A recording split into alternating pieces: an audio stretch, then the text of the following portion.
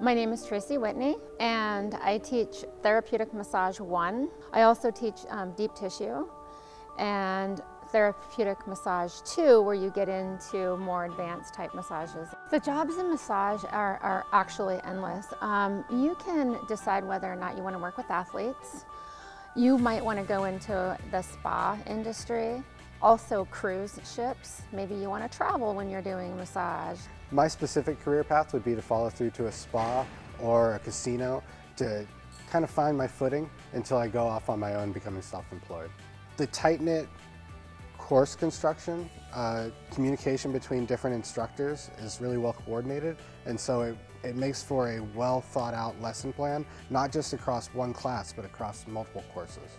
Not only are you taking massage courses that teach you hands-on working with people, but you're also doing small business management, stress management, um, everything to get you going, get you off the ground once you've got your certification so that you can go out into the world and be your own business. The very first class you're going to take is what's called Therapeutic One. So you're going to learn basic muscles, bones, attachment sites, what those muscles do.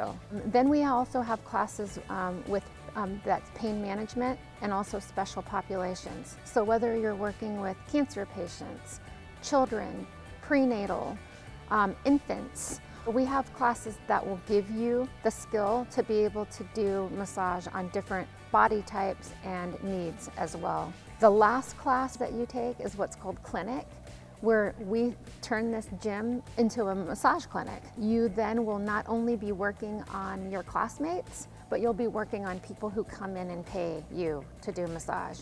And you then learn how to introduce yourself and be confident enough to use your skills that you've just learned.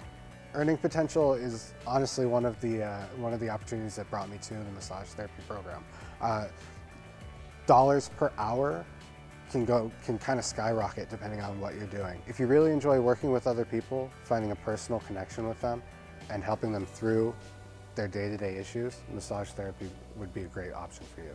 There's no one on this planet that does not benefit from massage in one way or another.